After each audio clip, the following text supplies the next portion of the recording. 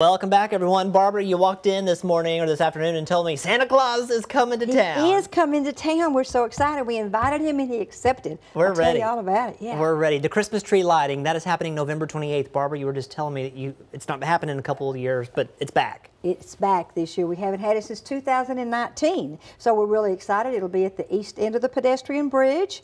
We'll light up that tree. We'll have a Miss Claus will be there wandering around. We'll have cookies and hot chocolate, hot Ooh. cider, and turn the tree lights on. I'm told it's even going to snow that night. Oh, uh-huh. we'll it's going to be really great. Oh yeah, I mean it's going to be cold enough for it, I'm sure. No, we've got the. Uh, yeah, I hope so. Right. We've got the Columbus Choral Society singing Christmas carols starting at 5:30. We'll go to about, about 6:15. We'll, uh, the mayor will flip the tree lights on. Awesome. But are we going to start with this weekend?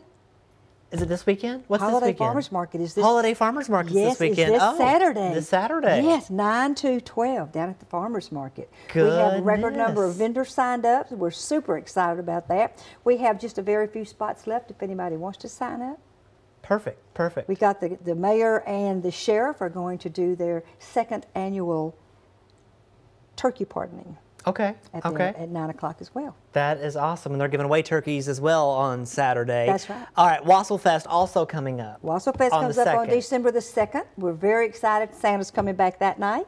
He'll be set up at the Arts Council for, uh, for pictures with uh, Santa and Miss Claus. We'll have 18 to 20 participants, so you have a lot of chances to sample wassail. Yes. Pick your favorite wassail. So we'll have a wassail meister this year.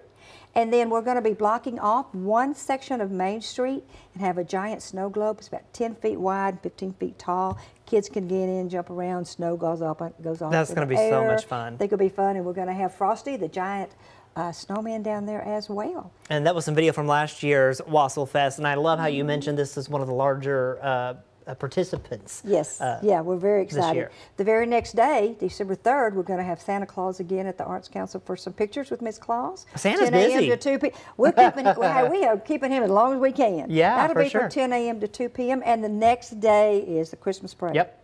December the 3rd at 3 p.m. Andrea Self is Mm-hmm. our Grand Marshal this year. We're super excited about that. So we're all, we're all ready.